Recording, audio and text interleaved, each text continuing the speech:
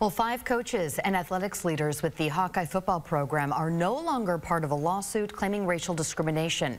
Attorneys for seven black former Hawkeye football players dismissed their own claims against four coaches, Kirk Ferentz, Brian Ferentz, Chris Doyle, and Seth Wallace. They also dismissed claims against athletic director Gary Barta. In 2020, the group of athletes sued those individuals for $20 million, claiming they played in a racially hostile environment and faced racial discrimination and harassment. Now, this federal case is still moving through the court system with the University of Iowa as a whole and the Iowa Board of Regents still named in the lawsuit.